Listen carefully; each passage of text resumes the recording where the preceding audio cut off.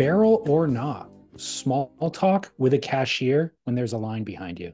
So no barrel. I think this goes, I mean, the whole bucket, I think when we write our advice guide, uh, self-awareness is number one. And so, yes, that cashier's got to be there no matter what. That cashier is on the clock. Doesn't matter really to him or her. I would imagine, you know, like I'm sure there's the one who's pride of job of getting the line moving and all that. But you being self-aware, you thinking this world revolves around me and my thing. So I'm gonna make these people wait while while I do my thing. Never ever do your thing. Always be aware. So, yes, of course, that is how I feel about this as well. However, I've noticed over time that I seem to be the only one who's in a hurry. And I'm like, okay, if I was the cashier, I wouldn't want anybody to talk to me. I would keep my head down and just be like, let's get through this as fast as we can. Efficiency is key. That's what's best for my employer. That's what's best for me. Right. Yeah. But again, I'm taking a survey nowadays and I'm like, the cashier looks like they're enjoying this interaction. The person who the the customer looks like they haven't left the house. It's an old person, doesn't interact with a lot of people. They look like they need this and the people around me don't seem Aren't like here. there's in any rush because there's a line of five people in it and a line that's empty and a six person just got in the five person line. So they're not in a hurry because they're not looking for the shortest line like i do. I'm the only one who's annoyed right now.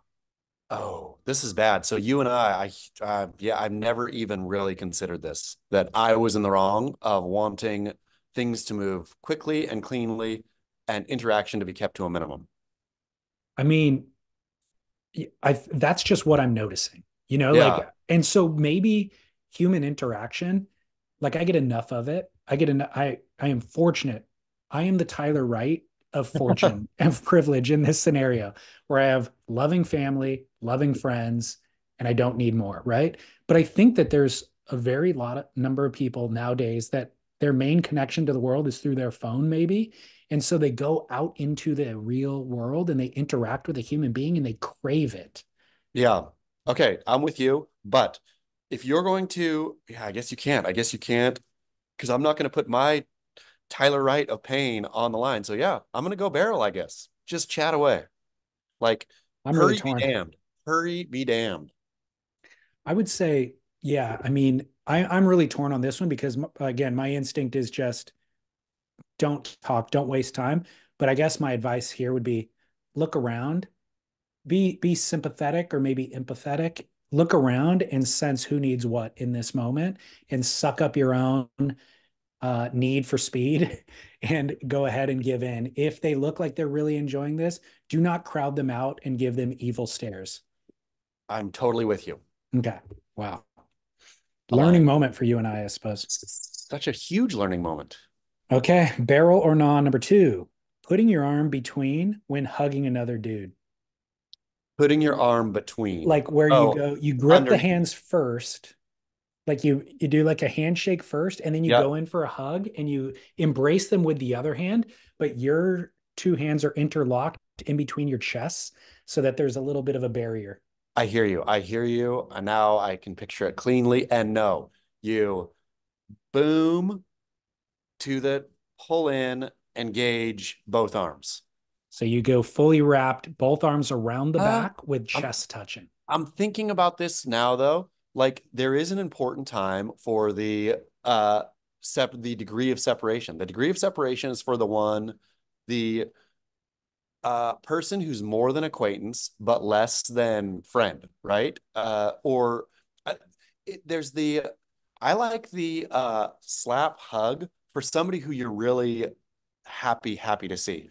The slap, slight pull is someone like, hey, I like them both. They both have a place in the nonverbal uh what the pantheon. Yeah.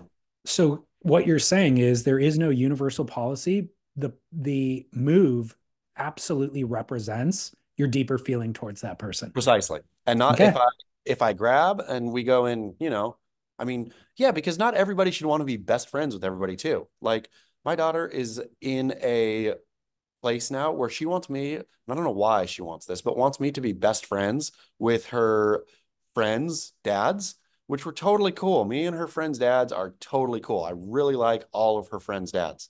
Uh, I have my best friends. I can't just make all of a sudden, you know, I don't know why you need. I swear it's great. I'm, but they don't want me to be their best friend either, right? We have our friends and we have each other, and all of like the complex web of personal interaction is important. If it was all flat, if everyone was either 100% your best friend or you didn't know them, that would be a weird way to live.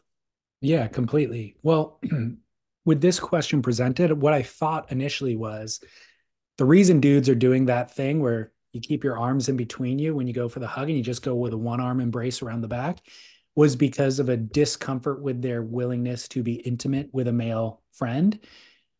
But you're right in that that same male might go full embrace with a different male. Yes. This is just an actual nonverbal communication on where you lie on the spectrum of love for me. If you have never hugged another man as a man, then I think you need to go look deeply in the mirror at your own why you're not doing that. You know, like you don't have to publicize it, you don't have to make it a deal, but it's something that you need to think about. Correct. Yeah.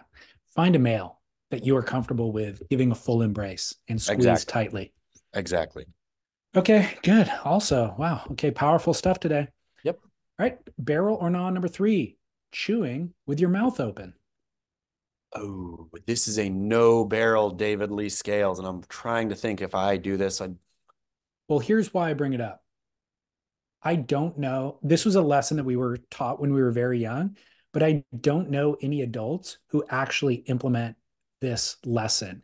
That's They're, true. Everybody chews with their mouth open. I think it's a bridge too far if you're talking with a mouthful of food. Of course, you're that's exactly obvious. Right. But there's exactly no right. nobody that like it's actually very uncomfortable. It's weird. it's weird. And to chew. It's more, I don't know if it's drawing air over your food accentuates the flavors or whatever, but it's actually more comfortable and pleasurable to chew with your mouth open. I totally agree. I never thought about this. This is a wonderful barrel or not. And you're exactly right that chewing with your mouth closed is weird. Yes, talking with food in your mouth is a no no. Maybe smacking, like really uh, calling attention. Yeah. If somebody sees you chewing your food because you are making it that obvious, that's uncool too. But everyone else, just chill, man. Just in the because if I saw somebody really purposefully keeping their lips closed, I would think you're a weirdo. You're it's yeah. it's physically uncomfortable to do. Like you strain to keep your lips sealed while you're chewing a large weird. bite of food. And you don't want to be weird. I think one of the other points of the show is don't be weird. Don't be like an, a weird outlier. That's true. And it's a I'm social not. norm now to chew with your mouth open. So yeah. be normal. Have at it. Have at it. Yeah. Do as everyone else does. Agreed. Okay, good.